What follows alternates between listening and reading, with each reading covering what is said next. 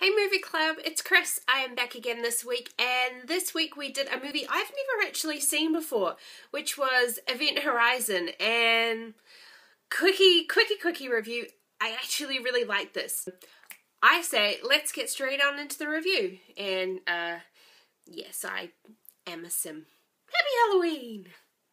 Okay, so it's the year 2047, and the crew of the is it like a rescue space vessel called the Lewis and Clark are actually heading out on this top secret government mission all the way out to Neptune. Um, and they're going out there to recover this ship that was lost.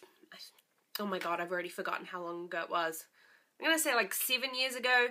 Yeah, no, 15 years ago. Let's say 15 years ago. Um, and it was called the Event Horizon. Uh, Dr. Weir uh, was the designer of the ship, and he is actually on board with them, and they're going to recover um, the ship and find out what happened to it. And all they have to go on is this tiny little snippet of a message um, in which everyone sounds like they're screaming and dying and are in a huge amount of agony and pain and torture. So that's a really good reason to go running on along to it with only that for, you know, your kind of forewarning of what's to come. I mean, really, people, come on. Um, but when they get there, they discover that all the crew are either missing or dead. And that's when stuff starts to get really freaky. So it's a pretty good solid sci-fi thriller movie. Um, I wouldn't really class it as like your typical horror horror movie. It's definitely got a lot more of that sci-fi thriller vibe to it, but it's definitely good. It's got a good number of jump cuts and the scene changes that do happen um, kind of leave you gasping at times because you're like, oh shit, did that just happen? Um, so what did I think of it? In terms of cast, I think everyone did a really good job in delivering like like good solid performances. Like no one massively stood out, but no one was so horrifically bad with their acting that you were kind of left going, just kill this person already. They're really shit. Everyone was was pretty good. So I mean, we had Lawrence Fishburne and Sam Neill, who were the two big, well-known names, and then just a bunch of people that you kind of know as that guy from Armageddon or that guy from the Bon Jovi music video. I think it was always. And I think overall they all delivered really good performances. There was some that you could tell were going to die pretty soon or that most of them were going to die because you didn't get a massive amount of a backstory on them. But they did it in a way where you still knew bits and pieces about them based on the visual clues that they put around on the Lewis and Clark as they were traveling there. Um, so I thought it was pretty cool. So I was happy about that. Graphically, this movie gets a lot of things right and only a few things wrong. Um, like for example, on board the actual event, event Horizon, it had like the sets of it had an almost organic feel to it. So it was actually really easy to believe that this ship kind of did have a sort of consciousness to it. You could kind of see and understand how that could happen.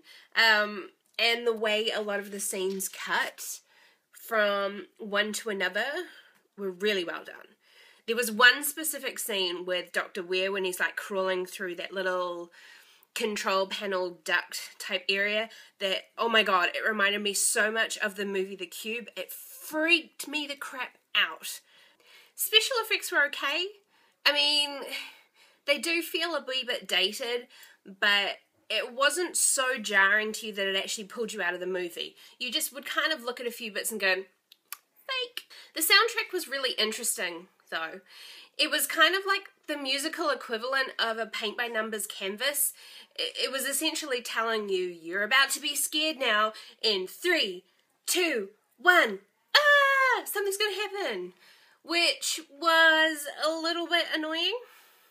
So, the one big question that I still have about this movie, and I know a lot of other movie clubbers do as well, is whether or not Dr. Weir was already if he'd already sort of succumbed to this evilness on the ship before he even got there.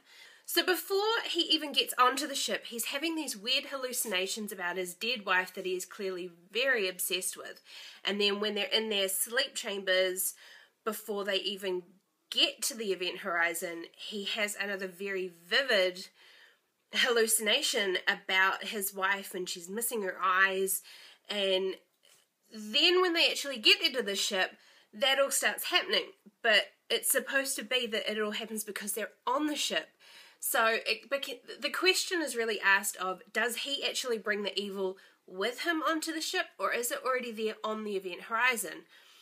My personal take on it is that if this ship really had gone through into hell and come back and was really becoming this living entity within itself, that it knew that its maker of the ship with this, you know, great computer setup was on its way back to him. And that way they were actually connected. So he was having the hallucinations before he even got there to the event horizon because, in essence, a big part of him was already in the ship. That was my take on it. I know everyone has a slightly different opinion on whether or not it was just that he, um, because he was already hallucinating, was already quite susceptible to the evilness from the ship. I, I mean, that's the good thing about a movie is the fact that you don't. Everyone can watch the same thing, and your own personal experiences and thoughts can shape you to have a slightly different view on what we've all seen. It's the same and that's why I love Movie Club. So yeah, um, in case you guys don't know, I do these movie reviews for SourceFed Nerd Movie Club. If you haven't checked out their channel, you should. You should also look for all the other movie clubbers as well. They will have the same hashtag in their title, so search for that in YouTube and find them. They're a bunch of really great people. But anyway, uh, guys, that was my review. I hope you enjoyed it. I hope you enjoyed the movie if you joined us this week on Movie Club. Um, and yeah, like the video if you haven't, subscribe to my channel because um, it fills me with a whole bunch of warm fuzzies and I like warm fuzzies. Okay guys, I'm Chris. I will see you next week. Bye!